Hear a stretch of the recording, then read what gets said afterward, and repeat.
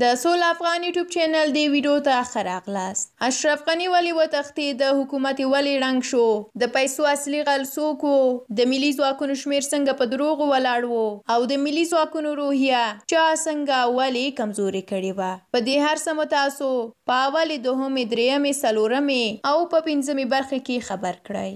د اشرف غني په دوهمه دوره کې د واک په سر ناندرۍ، د دولت د رئیسانو، د وسله وال پوځ د عالي سرقومندان په توګه، د افغان امنیتي او دفاعي ځواکونو د جګړې په هکله د کرزي او غني ګونګ او نا ثبات لرونکی سیاست په دغو ځواکونو کې د خپلو حکومتونو په ټولو کلونو کې د انګېزې او روحیې ستونزه زیاته کړې وه. څلورم یې دا و چې اشرف غني، همدارنګه د اشرف غني له خوا د پوځ او دفاعي او امنیتي بنسټونو، په مشرۍ او بېلابېلو قومندانانو کې ادلون بدلون او په امنیتي او دفاعي ځواکونو کې د بدلونونو او ټاکلو صلاحیت د هغه په انحصار کې په اردو او امنیتي بنسټونو کې له نظامه په دفاع او دولت لپاره د جګړې باور او روحیې ته زیان رساوه.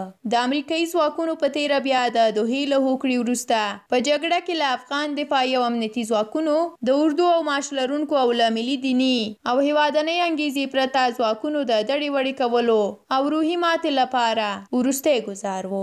د امریکا د سپینې ماڼۍ یو مخکیني چارواکي او د دغه هېواد په پرنسټن پوهنتون کې د نړیوالو اړیکو استاد فرانک فین اېپل وايي چې، د افغانستان پوځ د خپل دولت په پرتله تر ډېره پر ناټو ځواکونو باور درلود. د ناټو پوځي ځواکونو خپل کابو لس زره پوځیان له افغانستانه ایستلي وو، خو کابو شل زره قراردادیان د ودانیو د تکنېشن او د سفارتونو د امنیت د خوندیتوب لپاره هلته پاتې وو او له افغان ځواکونو یې لا ملاتړ کوه. کله چې دغه ملاتړی جوړښت لرې شو، د افغانستان پوځ د مبارزې لپاره پر ځان باور له لاسه ورکړ.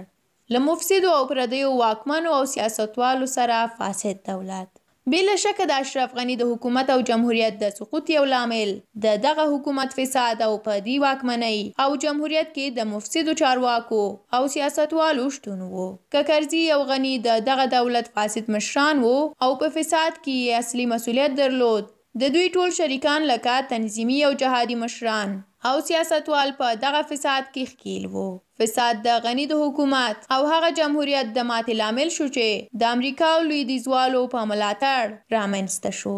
چې دا مسئله زیات بحث ته اړتیا نه لري او روښانه خبره ده، خو د جمهوریت حوزې په واکمنو، چارواکو او سیاستوالو کې اشرف غني په خپله مشرۍ او مدیریت سره چې له دروغ، نه ژمنتیا، دوکې، انحصار غوښتنې او کورنۍ او بهرنۍ برخو کې له ناکامۍ سره مل و، د جمهوریت او خپل حکومت په ړنګېدو کې یې اصلي رول ولوباوه.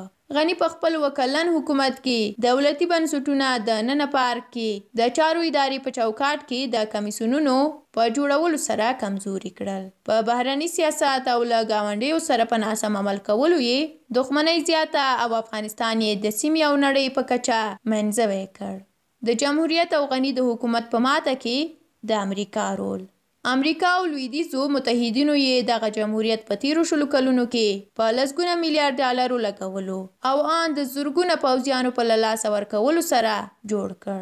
دا چې د یوه ناسالم او فاسد دولت او فاسدو سیاستوالو په واکمنولو کې د امریکا رول څه و، بله موضوع ده.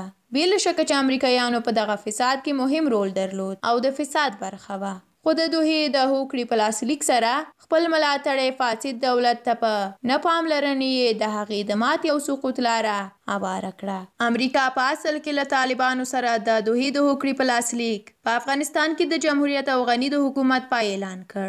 دا خبره د امریکا لوړ پوړو پوځي چارواکو دفاع وزیر لویډ اسټین، لوی درستیز جنرال مارک میلي، د امریکا د وسله والو ځواکونو د مرکزي ځواکونو قومندانان، جنرال کنټ مېکنزي د روان کال د اتلې په شپږمه نېټه د امریکا د سنا جرګې د وسله والې کمېټې په ناسته کې د پوښتنو په وړاندې کړې ده او آن هغه یې د امریکا لپاره ستراتیژیکه ماته وبلله.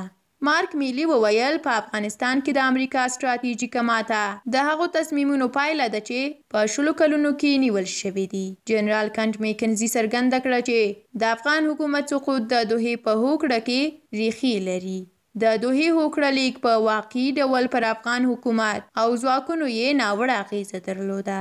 د امریکا دفاع وزیر لوید اسټین په دغه ناسته کې وویل چې د مېکنزي له تحلیل سره موافقه دی. هغه زیاته کړې ده چې د دوحې په هوکړه کې ژمنه شوې وه چې پر طالبانو د امریکا هوایي بریدونه ودرول شي. له دې امله طالبان لا پیاوړي شول، د افغان ځواکونو پر خلاف یې عملیاتو ته زور ورکړ او زیات شمېر افغانانو ژوند وبایله. درنو لیدونکو ډېره زیاته مننه چې دا ویډو مو تر پایه ولیده. دا وه د دې لیکنې اخیري برخه چې موږ له تاسو سره شریکه کړه. که مو اوله، دوهمه، درېیمه، څلورمه او پنځمه برخه یې ورته نه وې لیدلي، نو زموږ په مخکینیو ویډوګانو کې یې کتلی شئ. زموږ د لا ډېرو ویډوګانو لپاره یوټیوب چینل سبسکرایب کړئ تر بیا لا مو مل شه ښه وخت ولرئ.